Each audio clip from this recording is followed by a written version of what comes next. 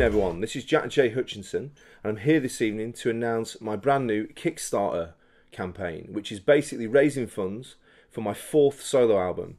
So I've put three solo records out Paint No Fiction, Who Feeds a Wolf, and The Hammer Falls. And this year I'm recording my fourth record. And basically, what I'm asking for is for your support to help raise funds to pay for the studio recording sessions at Momentum Studios down in Plymouth. Uh, and over the last six months, I've been writing some brand new material with Josiah Manning from the Kris Barras Band. Uh, we've already recorded four tracks, uh, and on those tracks, we've got Billy from the Kris Barras Band playing drums, and they're sounding really, really good. Uh, so basically, in March, I'm going back to Momentum and I'm going to record a further six songs. So I'm looking to raise about £3,000, which is to pay for the studio costs and the mixing and the mastering of those tracks.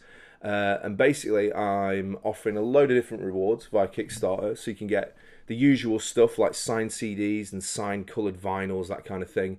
Uh, there's like an ultimate package which comes with the plectrum, stickers, that kind of thing. Uh, and also there's a house concert. You can get me to come round to your house. I'm not sure whether you'd want me to do that. I might drink all your booze, uh, but that might be uh, something that you're interested in. There's guitar strings that I've used to uh, record the guitar parts for the record as well.